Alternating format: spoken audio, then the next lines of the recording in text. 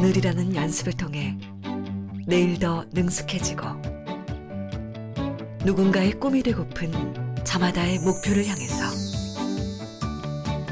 삶이라는 경기, 인생이라는 올림픽을 살아갑니다. 최선을 다한 우리가 우리에게 말합니다. 당신은 최고입니다.